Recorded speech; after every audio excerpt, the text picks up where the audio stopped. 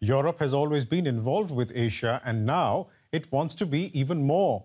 Trade is the main area it wants to do this in, and improving technology, connectivity, and security also form parts of its offering to the region. These are set to be discussed at a forum to be held tomorrow in Paris. It will bring together foreign ministers of EU member states and some 30 countries in the area known as the Indo Pacific.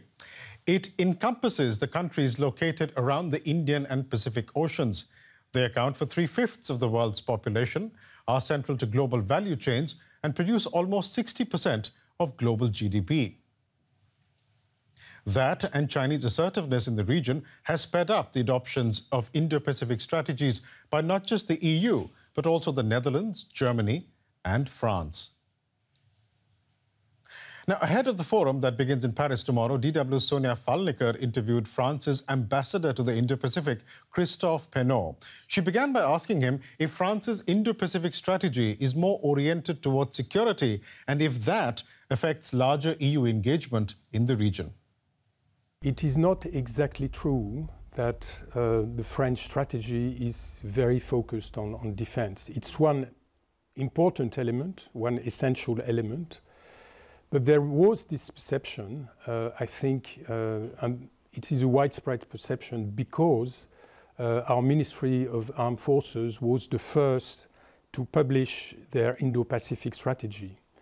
But the whole Indo-Pacific strategy addresses many other issues which are as important uh, for us as, as the defense and security angle. Take the example of climate change, for instance, or the protection of biodiversity, or the protection of the oceans, health issues, but also economic issues, trade issues, connectivity issues. So our strategy is clearly multidimensional. We want to address all the challenges. Security challenges are very serious and we're not naive about them. But at the same time, we want also to be able to um, develop cooperation actions, concrete actions with countries of the region on other issues such as the one I, I mentioned earlier.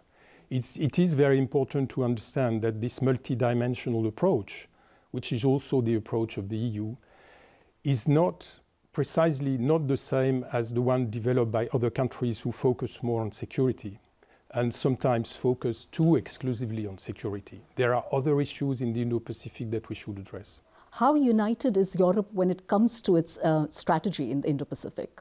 Uh, some countries are more engaged than others, but what is important in my view and what um, the adoption um, of the uh, Indo-Pacific strategy for cooperation uh, demonstrated was that the EU as a whole recognizes that the Indo-Pacific is important and that we collectively have strong interests in that region.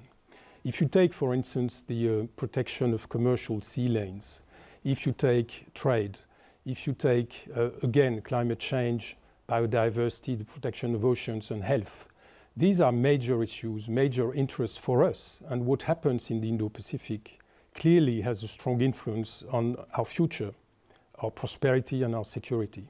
So I think now there is a wide recognition among EU members, and this is reflected in the strategy of the EU, that the Indo-Pacific is very important. Okay. And this is something new. Uh, when we started the discussion in Brussels, and that was um, at the end of 2020, nobody would have uh, predicted that we would adopt the uh, EU Indo-Pacific strategy in September of 21. We thought it would take more time because there was some conviction, some advocacy to be made. Uh, we needed to discuss together what was, what was you know, good for us uh, to, to have uh, uh, ambitious contents, but also to reflect the views of all member states. And it took less than a year uh, which uh, by EU standards is, is quite a performance. What does the EU concretely offer people who live in the Indo-Pacific region? Well, many things. Um, more stability um, through the promotion by the EU of multilateralism, of the rule of law, um, in the economy and trade, uh, high standards of transparency, um, you know, strong social and environmental standards, This would be beneficial to the people of every country in the Indo-Pacific. Um, on the global issues I mentioned earlier, climate change, um, biodiversity, uh, the EU can support and, and, really make a difference by supporting cooperation with the countries of the region. And this has a direct impact on the livelihood of the people there because you know, they rely uh, a lot on their environment. Uh, they rely a lot on the oceans for their living conditions, but also for their sources of income. There are many examples of what we want to achieve with countries of the regions, uh, such as you know, digital partnerships with Japan, Korea, and Singapore, but also um, an initiative on connectivity between the EU and Asia. China has not been invited to the Indo Pacific Forum in Paris. Do you think any real engagement in the Indo Pacific is possible without China being at the table? We have a three way approach to China. Uh, we consider China as a partner, uh, we consider China as a competitor, and we consider China also as a systemic rival which um, does not pursue the same vision of the international order. Um, and I think all 27 member states are comfortable with that, and this is why we adopted this EU uh, China outlook in 2019.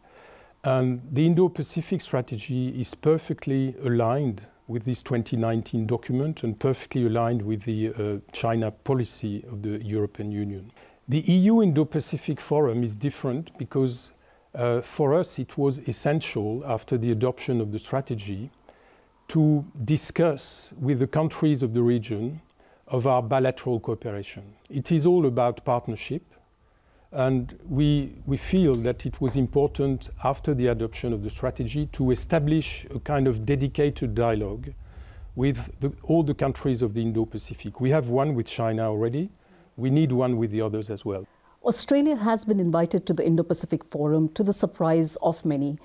Last year, Canberra cancelled a major submarine deal with France and uh, joined a new security alliance with the US and the UK. At the time, there was a lot of outrage uh, here in Paris, and it led to a real diplomatic crisis. Can you give us a sense of where things stand right now between Australia and France?